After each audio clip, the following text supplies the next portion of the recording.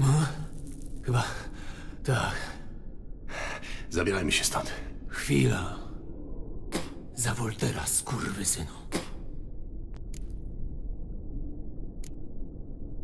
Wolter? Kto to? Nie pamiętasz? Taki niewysoki.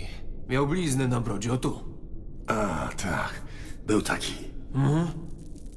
Był. Ale został tutaj. Chodźmy już.